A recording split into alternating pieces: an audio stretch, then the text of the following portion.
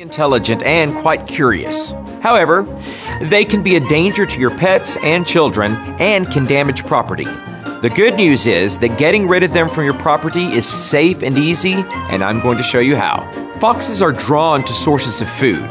Be sure to store any trash or food waste indoors or in a secure shed. Also, make sure your crawl spaces are sealed off to keep foxes from wandering in to nest.